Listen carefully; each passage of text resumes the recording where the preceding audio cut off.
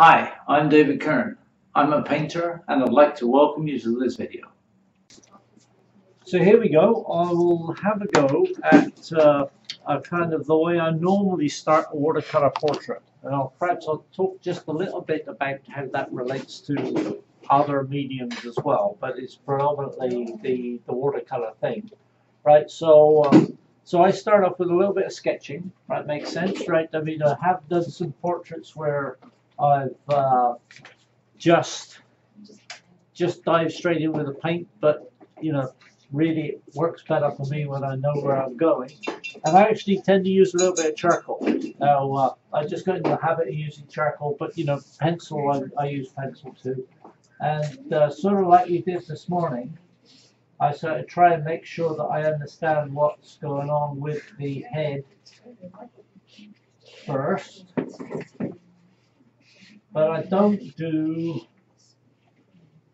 too much sketching. I just make sure that I've got enough lines in that I can kind of I can kind of tell myself where to put the paint. So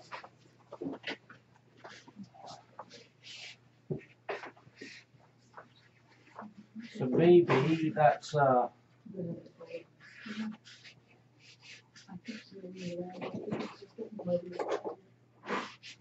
maybe I'd start with something like that. Right, so so I've not uh, I've not really done anything other than sort of do a bit a bit a bit of layout because I want to make sure that when I'm painting, you know, I'm not getting too constrained with my uh, my uh, drawing. And in fact, you'll see I kind of uh, I kind of creep up on getting a bit of definition as I go. Mm. So then I take I take my brush with some uh, water, which I should have somewhere. Here we are, just water. Right, and and and I I I start off using what two colors? What do you think I'm going to use? Right? Red, yellow, blue. Huh? Red, yellow, blue. No, no. What did I use? I I, Wait, I, I, I use burnt sienna and ultramarine blue. Right. In fact, I just I take mainly burnt sienna and as, and uh, and perhaps a little bit of ultramarine blue as well, just to uh, to to knock the redness off of it. But predominantly, I'll use uh, I'll use that because what I want to do is just want to block in the form and get the uh, the perhaps the, the understand where the shadow areas are, right? So I'll just uh, swing this round a little bit. So I normally start somewhere at the top, and I'll just look for for a little bit of form.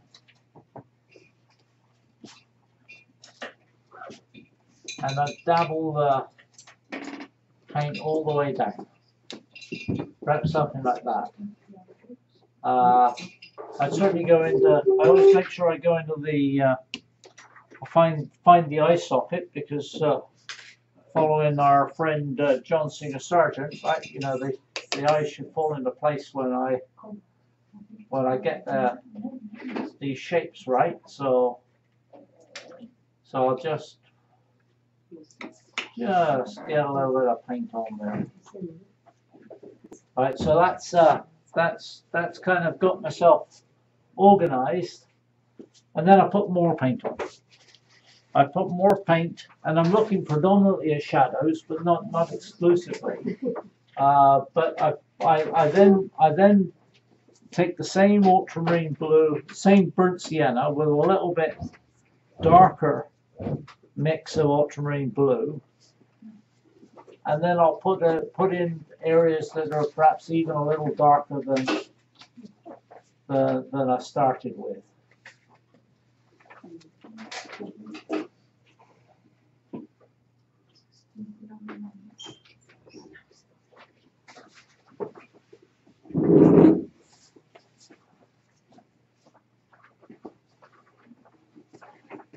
Really, I'm just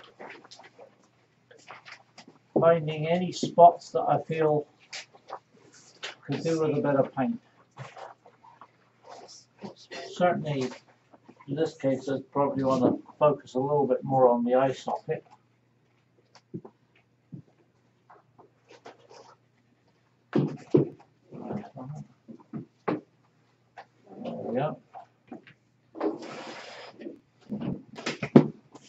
There we go.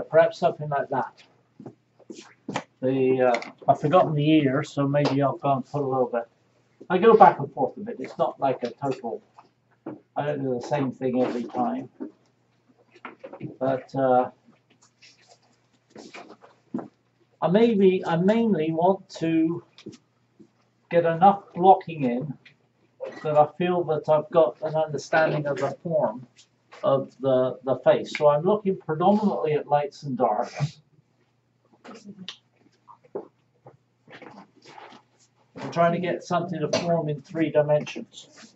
As you can see, I mean, I, I'm fairly loose with my brush strokes, but I might clean some of these up afterwards. I don't mind it running actually, so I'll, just let that run. That does, that's not a bad run. But uh, if I don't like the run, I'll, I'll, I'll just, uh, I'll, do, I'll just sweep it up a little bit later. Later, or if I really don't like it, I'll sort of take it out immediately.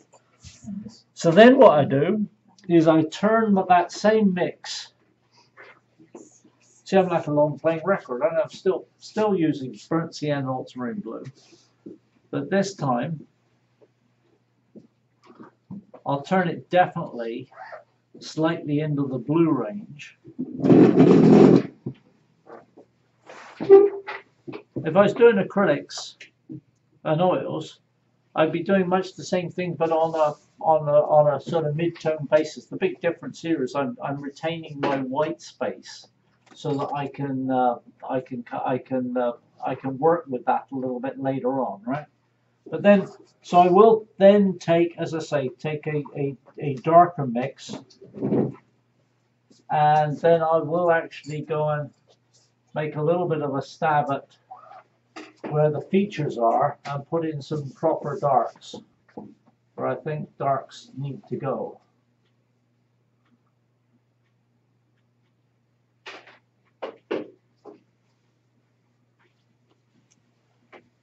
Still using the same brush. Until I get really scared, I just keep using the same brush.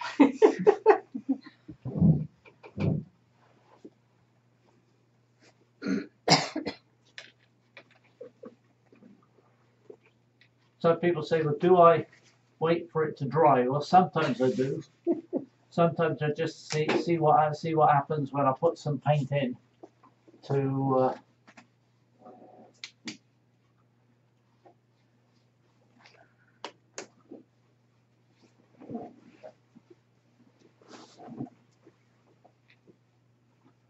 This is dark underneath his nose as well, so I'll just put that.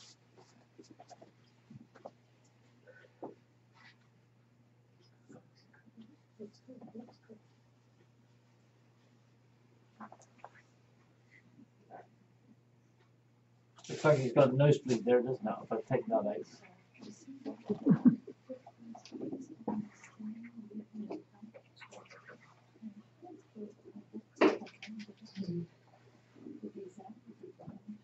out.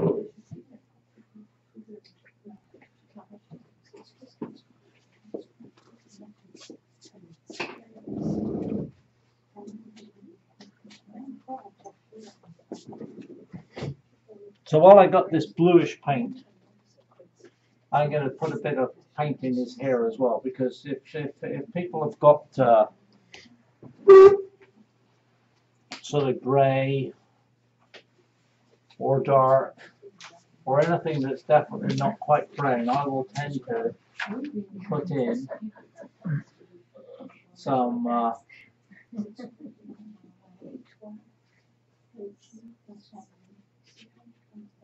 some some form of grayish, bluish grayish color in for the hair. As you can see, I do it very roughly, right? I just try and try and kind of go with the flow and get a few uh, few brush strokes going, and then leave it alone if it works. If it doesn't work, I'll go back in and do some more work on it later on.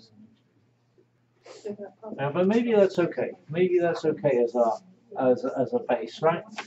Um, and it looks a little bit messy at this stage, but I can always go and clean it up with uh, with some kind of brush that's a little bit stiffer.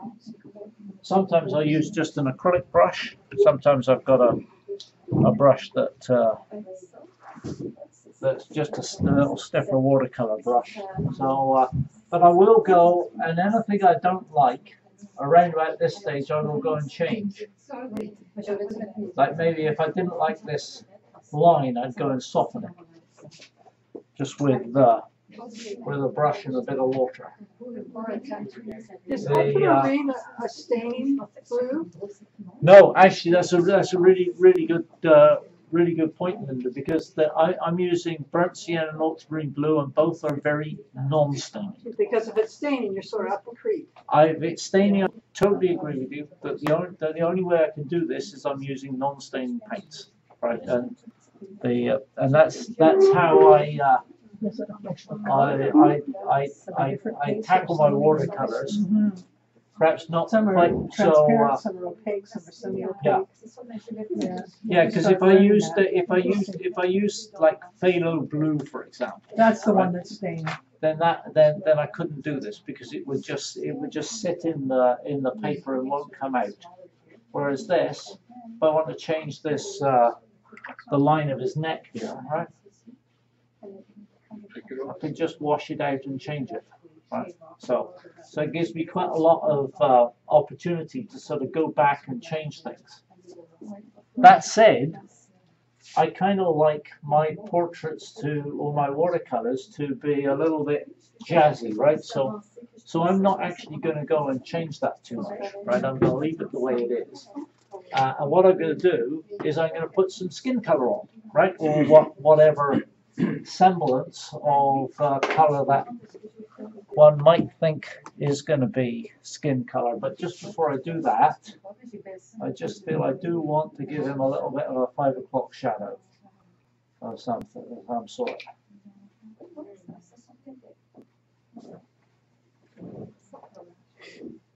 A little more serious thing. I'm always going around changing things, right? To to, to get somewhere.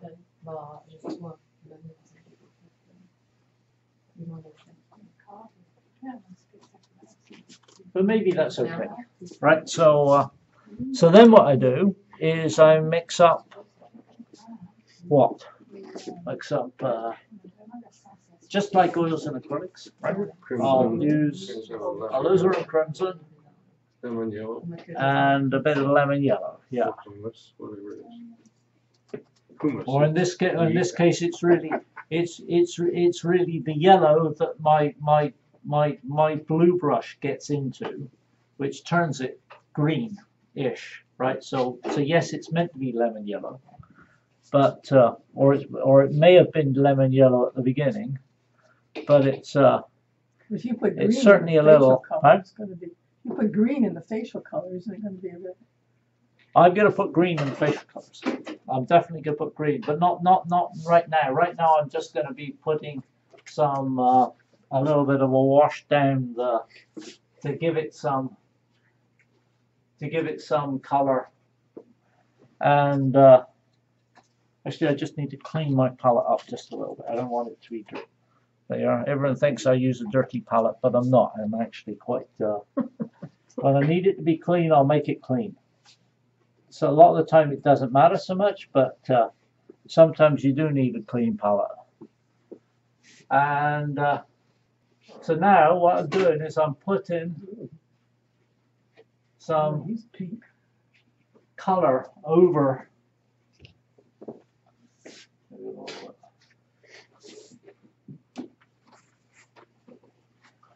the portrait.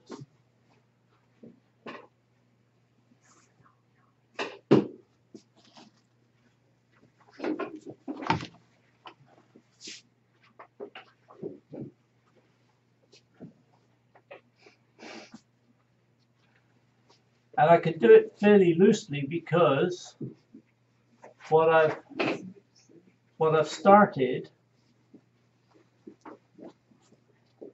is actually holding it together a bit, right? So, so it, uh, it now, she's got the bit of colour in his ear there, so I just want to actually make that even a little bit redder.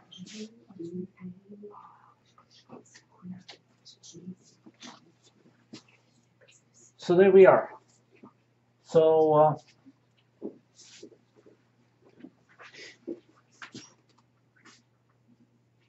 so once I once I'm comfortable with that, and I go back and forward a little bit, like right now, I think some of the some of the blues and uh, and greys are maybe washing out a little bit here. I just want to add a little bit.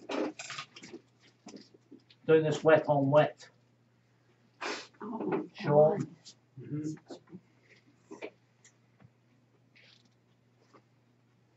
with white blue there, I think. That's when you start, I go around, use the same paint wherever I feel it might work. And uh, just trying to decide right now whether I think it's looking a bit messy or not. I like this but he's got quite a strong cheekbone, so I don't want that paint there. He's got this strong cheekbone, I've got to have that. So I've got to take that out, back up to the hairline, which is in the wrong place. So I'll just bring this down a little bit just to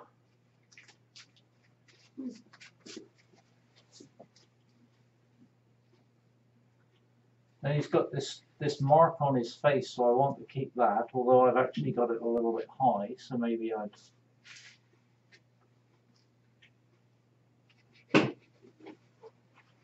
Do a little bit cutting back, and I'm just looking at things that are right and things that are wrong. His eye socket comes out here more, so I'll go and add a bit of paint here, right? And I'll, I, I, I will use kind of some bluish paint just to kind of go around and correct.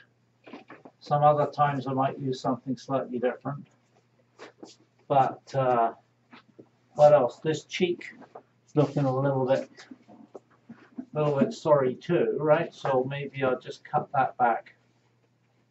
I try not to cut things back too much because otherwise I kind of take the, I take the, the joy out of it but uh, perhaps I should put a little bit of warm paint in around his mouth as well, I think, perhaps.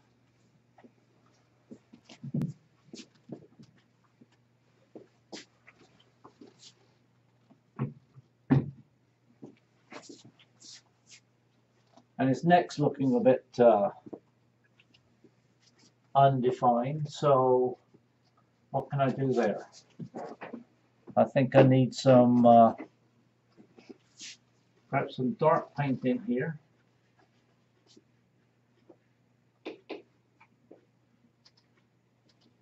And then a bit of light in here, I think. So I just take, take my brush and scrub the neck out a little bit.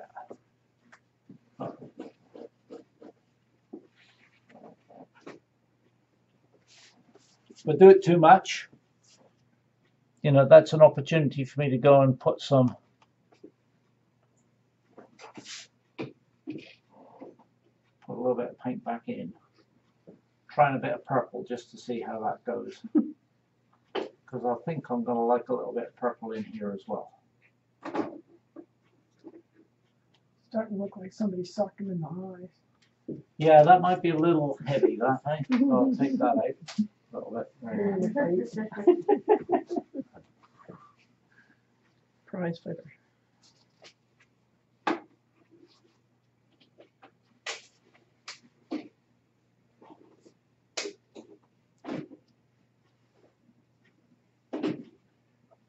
Just wanted a couple of purplish notes in there for some reason.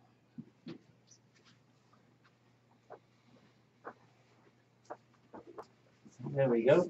So, um, so now I think I will put a little bit of blue in as well, just to, just to show how safe it is. And so I'm gonna put a little bit of cerulean blue in as well. Because if you've got, if you've got lights, but, uh, was it Bob, Bob Ross said, uh, you have to have the dark to show the light. So in the same way, you have to have the blue in order to show the orange, right? Or, or the warm, you have to have the cool in order to show the, the, uh, in order to show the, the warm. So I'm now gonna just put a little bit of cerulean blue down this side.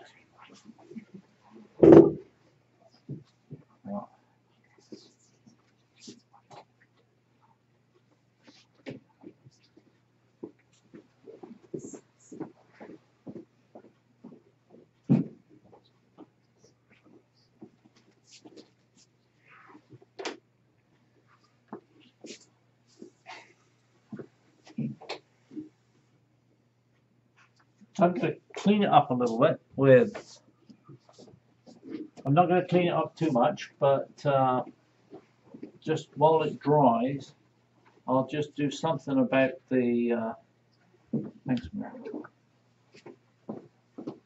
I could put the clothes in, but I think I'm just gonna be a little bit graphic about it.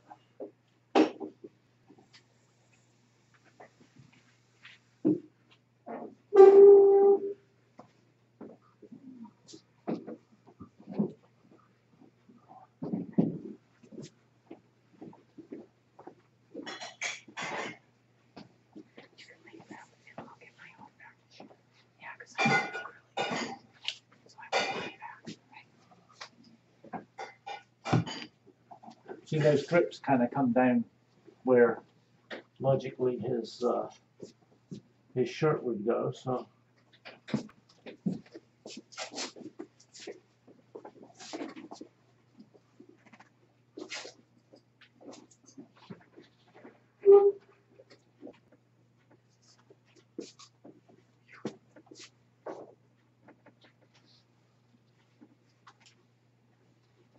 so I'm now but I would say it's putting in my darks. You know, I always say, say, say put in your darkest darks.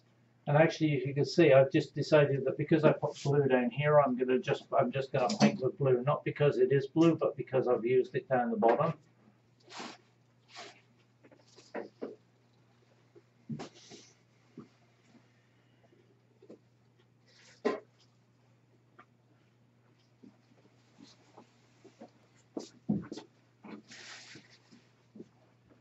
And there's just one last thing I want to do.